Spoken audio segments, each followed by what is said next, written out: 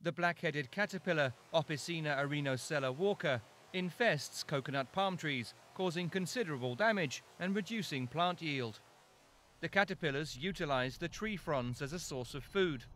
The Agricultural Extension Department is planning to breed and release the parasitoid wasp bracon hebetor in an effort to combat the pests. They plan to release a total of 211.2 million wasps into the environment over a 24 week period.